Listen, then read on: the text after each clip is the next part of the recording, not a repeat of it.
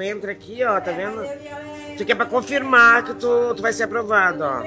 No caso, no meu caso, já tá, aparece aqui, já aparece. Aí tu clica aqui, eu sou cidadão, e ali tu, tu clica, vai aparecer os dados que tu já cadastrou, e aparece aprovado. Eu vou reconstruir o que eu perdi.